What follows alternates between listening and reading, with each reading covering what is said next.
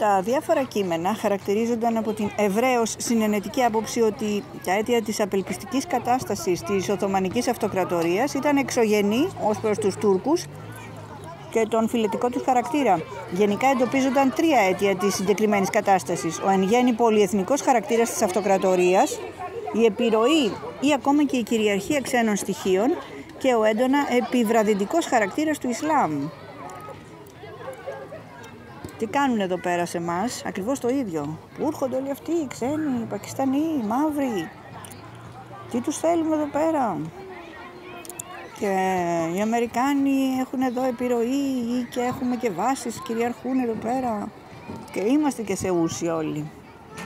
Και σε όλο αυτό το ξερίζωμα που θέλουν να μας κάνουν, βοηθάνε όλα αυτά τα υποτιθέμενα πατριωτικά από τέτοια. Εθνικιστικά, Σπαρτιάτες, ε, πατριωτικός συνασπισμός, ε, πατριωτική συμμαχία, ε, τι άλλα έχει και όλα αυτά τα κασιδιάρικα.